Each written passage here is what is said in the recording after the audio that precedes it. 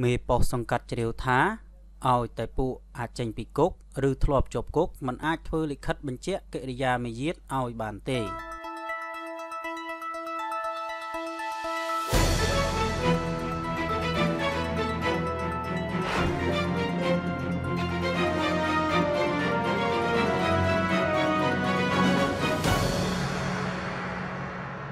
លោកសុតសៃមេប៉ុស្តិ៍នគរបាលរដ្ឋបាលសង្កាត់ជ្រាវក្រុងសៀមរាបបានបដិសេធជាច្រើនដងមិនធ្វើលិខិតបញ្ជាក់កិរិយាមាយាទឲ្យពលរដ្ឋម្នាក់រស់នៅក្នុងភូមិជ្រាវសង្កាត់ជ្រាវលោកបានអះអាងថាឲ្យតែពួកជាប់គុកឬចេញពីគុកលោកមិនអាចធ្វើលិខិតបញ្ជាក់កិរិយាមាយាទឲ្យបានទេ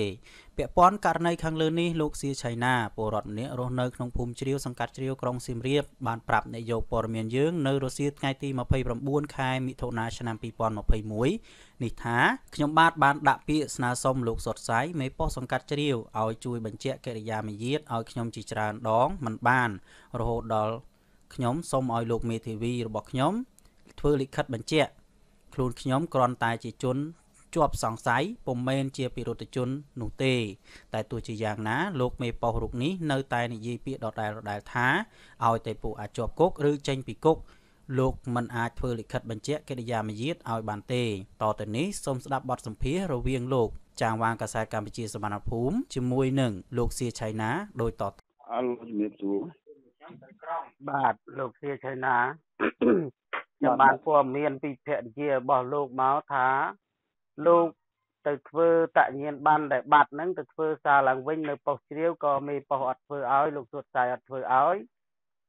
ហើយថាទៅធ្វើបច្ចៈកិរិយាមាយាទហ្នឹងក៏មេប៉ុស្តិ៍សុតសាយមេប៉ុស្តិ៍សង្កាត់ជ្រាវអត់ធ្វើឲ្យហ្នឹងមកពីមូលហេតុអីតើមេប៉ុស្តិ៍គេប្រាប់គេប្រាប់មកថាម៉េចបានគេមិនធ្វើឲ្យ លោករៀបរាប់ឲ្យខ្ញុំស្ដាប់បន្តិចបាទអឺរឿងបាត់តញ្ញាណបានហ្នឹងខ្ញុំបាត់តាំងពីមុនខ្ញុំមានរឿងដែលគេចាប់ដាក់ទុកដាក់ជីវៈហ្នឹងយូរហើយហើយបាត់ហ្នឹងទៅសុំដាក់ពាក្យបណ្ដឹងដើម្បីគឺតញ្ញាណបានហើយទៅជួបខាងគាត់ឲ្យទៅជួបផ្នែកគេខាងធ្វើតញ្ញាណបានហ្នឹងប៉ូលីសស្រីនៅប៉ុស្តិ៍ហ្នឹងកូនចៅលោកសតសៃហ្នឹងគេប្រាប់ថាឲ្យដាក់ពាក្យហ្នឹងទៅក្រុងទៅ ឲ្យក្រុងគេធ្វើឲ្យទៅដាក់បណ្ដឹងទៅក្រុងទៅក្រុងគេធ្វើឲ្យប៉ុស្តិ៍គេអត់ទូលទេអញ្ចឹងវិញ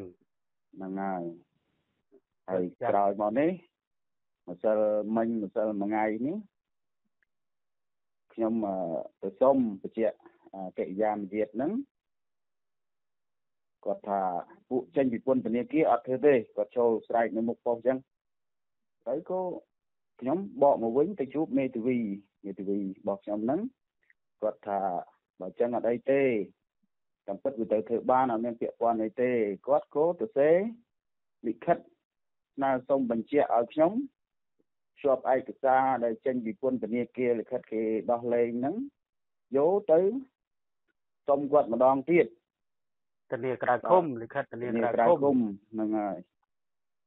សុំគាត់ម្ដងទៀតគាត់ អត់ទទួលហើយលោកឆាតលោកឆាតគាត់បានប្រាប់គាត់ថាបើមានពុកយោគយល់បានប៉ុណ្ណឹងមិនអីទេតែគាត់គាត់ថាឲ្យតែពួកជាប់គុកអាណាក៏ដោយអត់ធ្វើឲ្យទាំងអស់កុំថាប៉ាត់សុកកុំថាអ្នកណាគេអត់ធ្វើឲ្យទាំងអស់បាទយើងកុំនិយាយពាក់ព័ន្ធដល់អ្នកដតីបើគាត់ថាចង់និយាយថាខ្ញុំគាត់ចង់ដឹងថាលោកមេប៉ុស្តិ៍ អឺសង្កាត់ជ្រាវហ្នឹងលោកសួតសាយហ្នឹងគាត់ឆ្លើយថាម៉េចដែលគាត់មិនធ្វើឲ្យហ្នឹងយើងនិយាយតែប៉ុណ្្នឹងទៅខ្ញុំចង់ដឹងតែប៉ុណ្្នឹងទេគាត់អត់បានបញ្ជាក់អីគាត់និយាយភាសាដដែលដដែលពីរដងគាត់ថាពួកដែលចេញពីពន្ធនាគារគឺមិនធ្វើឲ្យទេពួកជាប់គុកគាត់និយាយអញ្ចឹងចុះលោកសៀឆៃណាលោកមានបានប្រាប់គាត់ទេថាខ្ញុំគ្រាន់តែជាជនសង្ស័យតឡាការពុំទាន់បានកាត់ទោសថាខ្ញុំជាជនដែលមានទោស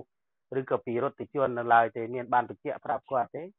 និយាយទៅគាត់អត់មាននិយាយវៃវែងឆ្ងាយទេគាត់និយាយសុំទៅគាត់ឈោនៅមុខប៉ុស្តិ៍ហ្នឹងយើងជួបកូនចៅគាត់កូនចៅគាត់រុញមកឲ្យជួបគាត់គាត់ចូលមុខប៉ុស្តិ៍ហ្នឹងគាត់និយាយយ៉ាងខ្លីប៉ុណ្្នឹងទៅគាត់ដើរចេញពីយើងទៅហើយយើងក៏មេធាវីដាក់លិខិតអីត្រឹមត្រូវមានកដាស់ស្នាមអីសូមបញ្ជាក់ត្រឹមត្រូវពីមេធាវីយើងទៅហើយគាត់នៅតែនិយាយភាសាដដែលគាត់ថាពួកចេញពីគុកចេញពីពន្ធនាគារគាត់មិនធ្វើឲ្យទេ បាទបាទអរគុណច្រើនហើយខ្ញុំនឹងសួរបញ្ជាក់ទៅខាងលោកមេប៉ុស្ហើយខាងអធិការក្រុងសៀមរាបហើយខ្ញុំនឹងសួរទៅខាងលោកមេធាវីរបស់លោកឆេណាផងដែរបាទអរគុណច្រើនលោកឆៃណាដែលបានផ្ដល់បទពិសោធន៍បាទជាចុងក្រោយខ្ញុំសូមសំណពោសំណពោទៅលោកទាសីហាចវាយខេត្តចវាយក្រុងនិយាយទៅមន្ត្រីដែលពាក់ព័ន្ធទាំងអស់សូមមកជួយរោគយុទ្ធធម៌ឲ្យខ្ញុំផង ព្រោះរឿងខ្ញុំមិនទាន់សាវនាការមិនទាន់មានទោសមានអីទេហើយរឿងនោះក៏វារឿងតិចតួចរឿងឆក់ត្រីឆក់អីហ្នឹងគេបំបែរឿងមីណាវែងឆ្ងាយឲ្យខ្ញុំមានបញ្ហាដល់មានរឿងប៉ុណ្ណឹងហើយក៏សូមឲ្យជួយរកយុទ្ធធម៌ផងតាមពិតនេះជាការងាររបស់នគរបាលយុតិធធបាទលោកគួរតែសំណុំពរទៅខាងអធិការក្រុងលោកស្នងការអីឲ្យជួយមើល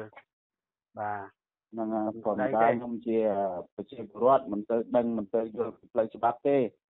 គឺមានតែសូមឲ្យមន្ត្រីពាក់ព័ន្ធផ្នែកនឹងទាំងអស់ជួយរកយុទ្ធធម៌ឲ្យផងបាទអរគុណបាទជំរាបលាអរគុណច្រើនបាទឡូអឺអ៊ុំសាយខ្ញុំប្លុងរ៉េតហ៎បងបាទអឺបងសុំសួរបងមួយឆៃណាវាថាវាទៅធ្វើអីចាំតិចទៀតត្រាំទៅដល់ប៉ុស្តិ៍ចាំទៅជួបខ្ញុំប៉ុស្តិ៍ ចាំទៅជួបខ្ញុំប៉ុស្តិ៍តែខ្ញុំបកស្រាយឲ្យបាទបាទបាទបាទបាទមនុស្សចេញពីពន្ធនាគារគេអត់តិចគេយ៉ាមញាតឲ្យទេអូគ្រប់ប៉ុស្តិ៍បាទគ្រប់ប៉ុស្តិ៍ឲ្យទាំងអស់អញ្ចឹងបាទបាទបាទបាទបាទបាទទោះទោះតែជនសង្ស័យមិនទាន់កាត់លោកដាចម្រើនអធិការនគរបាលក្រុងសៀមរាបបានប្រាប់តាមទូរស័ព្ទនៅរសៀលដដែលនេះថា ប្រហែលជាលោកមេប៉ុសសុតសាយ គាត់មិនយល់ចាំខ្ញុំប្រាប់គាត់ឲ្យធ្វើឲ្យបាទជំរាបសួរលោកអធិការបាទខ្ញុំប្លុងរ៉េតចាងវាងកសែតកម្ពុជាសវណ្ណភូមិបាទបាទអឺសុំសួរមួយមកណែនៅប៉ុស្តិ៍ជ្រាវហ្នឹងគេពលរដ្ឋម្នាក់គាត់ឲ្យទៅបញ្ជាក់កិរិយាមយាទណាគាត់ទៅដាក់ពាក្យធ្វើការ ដល់មេប៉ុស្តិ៍គេថាគេមិនធ្វើឲ្យទេព្រោះមនុស្សចេញពីគុកពួកជាប់គុកអត់ធ្វើឲ្យតែមនុស្សនោះគ្រាន់តែធានាក្រៅឃុំគាត់អត់ទាន់បានកាត់ទោសសាវនាការដែលជាជនល្មើសអីទេហើយសួរទៅខាងមេធាវីមេធាវីថាគាត់អត់អត់ទាន់មានទោសទេគាត់ជនសង្ស័យដល់ប៉ូលីសប៉ុស្តិ៍គេថាគេអត់ធ្វើឲ្យទេពួកចេញពីគុកវាត្រូវមែនណាលោកអធិការករណីគេអូករណីគេមុនមួយអាថនមួយអីវាទៅឆក់ត្រីខ្លែមស្វឹងត្រាហ្នឹងគេចាប់យកទៅឃុំជាង10ថ្ងៃហ្នឹង ដល់ឥឡូវនេះធានាក្រៅឃុំបាទមិនទាន់កាត់ទោសទេអូអត់អីទេតែមកខ្ញុំប្រាប់ទៅអត់ព្រោះខ្ញុំពួកហ្នឹងវាទៅធ្វើប្រហែលថ្ងៃហើយអត់បានមិញខ្ញុំសួរបញ្ជាក់ទៅមេប៉ុស្ហ្នឹងសាយហ្នឹងសាយគាត់ថាគាត់ធ្វើឲ្យទេគ្រប់ប៉ុស្ទាំងអស់គេមិនធ្វើឲ្យទេឲ្យតែពួកចេញពីគុកបាទខ្ញុំអត់យកអត់អីចាំខ្ញុំបញ្ជាក់ទៅឲ្យអត់អីទេខ្ញុំទៅបាទបាទអរគុណបាទជំរាបលា លោកសុតជារៀមមេធាវីរបស់លោកសៀចៃណា បានប្រាប់តាមទូរស័ព្ទនៅរសៀលដដែលនេះថាខ្ញុំបានសរសេរលិខិតបញ្ជាក់មួយច្បាប់ឲ្យលោកសៀចៃណាភ្ជាប់ជាមួយនឹងឯកសារផ្សេងផ្សេងដាក់ជូនទៅលោកមេប៉ុននគរបាលសង្កាត់ជ្រាវដើម្បីសុំធ្វើលិខិតបញ្ជាក់កិរិយាមយាទតែបើខាងលោកមេប៉ោនគរបាលសង្កាត់ជ្រាវនៅតែមិនព្រមធ្វើឲ្យទៀតខ្ញុំមិនយល់ពីកិច្ចការងាររបស់គាត់ដែរលោក បាទជំរាបសួរបងមេធាវីខ្ញុំប្លុងរ៉េតចាំងវាងកសែតកម្ពុជាសវណ្ណភូមិណាបងបាទបាទបាទលេខអឺបងជាមេធាវីរបស់លោកជាឆៃណាមែនបងបាទបាទអឺចាំជម្រាបសួរបងថាលោកជាឆៃណាហ្នឹងគាត់មានការកើតទុកមិនសុខចិត្តដោយសារគាត់ទៅធ្វើបច្ចៈកិរិយាមយាទទីប៉ុស្តិ៍ជ្រាវហ្នឹងមេប៉ុស្តិ៍គេអត់ធ្វើឲ្យថាគាត់នឹងជាមនុស្សចេញពីគុកឲ្យតែពួកចេញពីគុកអត់ធ្វើឲ្យតើលោកសៀឆៃណាគាត់ជាពិរុទ្ធជនឬគ្រាន់តែជាជនសង្ស័យខ្ញុំចង់ជម្រាបសួរបងចេះ ចុះខ្ញុំបានធ្វើលិខិតអីគាត់យកទៅដាក់ឲ្យគេនៅគេបានទទួលលិខិតនឹងហើយគេអត់ធ្វើនៅសួរចេះទៅវិញគេតាមគាត់មិញគាត់ប្រាប់ខ្ញុំថាគាត់យកលិខិតរបស់លោកមេធាវីយកទៅដាក់ឲ្យតែគេនៅតែនិយាយពាក្យដដែលថាឲ្យតែពួកជាប់គុកគេមិនធ្វើឲ្យទេអឺចេះអឺដើម្បីជាមូលដ្ឋានធម្មតាអូមកថាដាក់ពាក្យបដិងយើងត្រូវមានលេខទទួលអាហ្នឹងក៏អញ្ចឹងដែរបើយើងដាក់ទៅបើអ្នកឯងមិនខាងប៉ុស្តិ៍គាត់សម្រេចយ៉ាងម៉េចយ៉ាងម៉េច សំខាន់ឲ្យមានវាយលេខចូលដែរអាហ្នឹងទី1បើសិនជាយើងអត់តមានវាយចូលបើសិនជាករណីខ្លះគាត់ថាគាត់បានទទួលអាហ្នឹងក៏យើងអត់មានផុសតាងឲ្យបញ្ជាក់ប្រាប់គេតែខ្ញុំចង់បញ្យល់ពីផ្លូវច្បាប់ទៅវិញសិនចំណែកខ្ញុំមិនមិនមិនមានមានទួនាទីអីទេណាគាត់តែចង់និយាយផ្លូវច្បាប់កាលណាសាក្រមមិនទាន់ចូលជាស្ថាពរសម្រាប់អនកម្មពីជនណាមួយស្មើជននោះមិនទាន់មានទោសទេ បាទអញ្ចឹងហើយអគ្គកិច្ចការមយាទគឺជាកតាបកិច្ចរបស់សមាជិកដែនដីហ្នឹងគាត់អ្នកចេញបើគាត់ចង់និយាយថាយោងលើអឺអឺមនុស្សជាប់ពន្ធនាគារមិនអាចចេញឲ្យបានអាហ្នឹងសួរគាត់យ៉ាងម៉េចខ្ញុំអត់ហ៊ានថាដែរព្រោះអាហ្នឹងស្ថិតនៅលើគាត់គាត់យោងលើច្បាប់អីមេត្រាអីខ្ញុំអត់ហ៊ាននិយាយទេណាបានទុកឲ្យទុកឲ្យគាត់អ្នកសម្លាច់ខ្លួនគាត់ចុះព្រោះអីវាគាត់មានថ្នាក់លើថ្នាក់ក្រោមគាត់ដែរមិនអញ្ចឹង តែបើលិខិតកោតទោសបើនៅក្រសួងយុទ្ធភ័ពកាលណាមិនទាន់មានទោសយើងទៅធ្វើគឺគេចេញឲ្យបាទបាទហ្នឹងហើយហ្នឹងហើយអាហ្នឹងខ្ញុំសន្មត់គឺក្នុងផ្លូវច្បាប់គេសន្មត់អញ្ចឹងបាទខ្ញុំគ្រាន់តែចង់ដឹងប៉ុណ្ណឹងលោកមេធាវីបាទបាទបាទអូខេបាទអរគុណច្រើនលោកមេធាវីដែលបានបញ្យល់ពីផ្លូវច្បាប់ជម្រាបលាបាទជូនពរសុខភាពល្អបាទបាទសូមបញ្ជាក់ផងដែរថាកាលពីថ្ងៃទី14ខែមេសាឆ្នាំ2021 លោកសៀឆៃណានិងលោកសរឹមវ៉ាន់ថនស្រវឹងស្រាអស់សាច់ខ្លែមបែកគំនិតគិតខ្លីខ្ចីម៉ាស៊ីនឆក់ពីម្ចាស់ផ្ទះផឹកស៊ីជាមួយគ្នាយកទៅឆក់ត្រីប្រឡាយបាន ត្រីក្រាញ់4 5ក្បាលហើយក៏ត្រូវបានលោកមេប៉ុស្តិ៍នគរបាលសង្កាត់ជ្រាវចាប់ខ្លួនបញ្ជូនទៅមន្ត្រីជលផលកសាងសំណុំរឿងបញ្ជូនទៅតុលាការជាប់ឃុំអស់រយៈពេល17ថ្ងៃពីបទនេសាទដោយប្រើម៉ាស៊ីនខុសច្បាប់តែត្រូវបានលោកមេធាវីសុតជារៀមធានាឲ្យនៅក្រៅឃុំបណ្ដោះអាសន្នសូមរំលឹកផងដែរថានៅសង្កាត់ជ្រាវនេះមានអ្នករកស៊ីឆក់ត្រីជាអាជីពជាច្រើនអ្នកតែត្រូវកម្លាំងនគរបាលសង្កាត់ជ្រាវ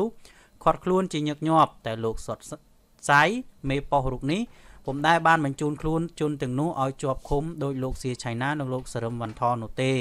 គ្រាន់តែធ្វើកិច្ចសន្យាណែនាំឬផាកពិន័យតិចតួចតែប៉ុណ្ណោះអភពអ្វីតែបុគ្គលពីររូបនេះជាប់គុកអស់រយៈពេល17ថ្ងៃគ្រាន់តែស្រវឹងស្រាបាត់បង់ស្មារតីទៅឆក់ត្រីយកមកក្លែមស្រា ដែលមិនមែនជាអ្នកអាជីពឆក់ត្រីដូចគេនោះទេលោកសៀឆៃណា សំណុំពោលោកដាចម្រើនអធិការនគរបាលក្រុងសៀមរាប ឯកឧត្តមទឹកនរងស្នងការនគរបាលខេត្តសៀមរាបលោកនួនពុទ្ធិរាអភិបាលក្រុង និងជាពិសេសឯកឧត្តមទាសីហាអភិបាលនៃគណៈអភិបាលខេត្តសៀមរាបមេត្តាផ្ដល់យុត្តិធម៌ដល់រូបលោក ជាពលរដ្ឋក្នុងខេត្តសៀមរាបនេះផងសូមថ្នាក់ដឹកនាំពាក់ព័ន្ធគ្រប់ជាន់ថ្នាក់មេត្តាជួយណែនាំលោកមេប៉ោរូបនេះឲ្យចេះស្រឡាញ់រាឲ្យបានស្មើស្មើគ្នាផង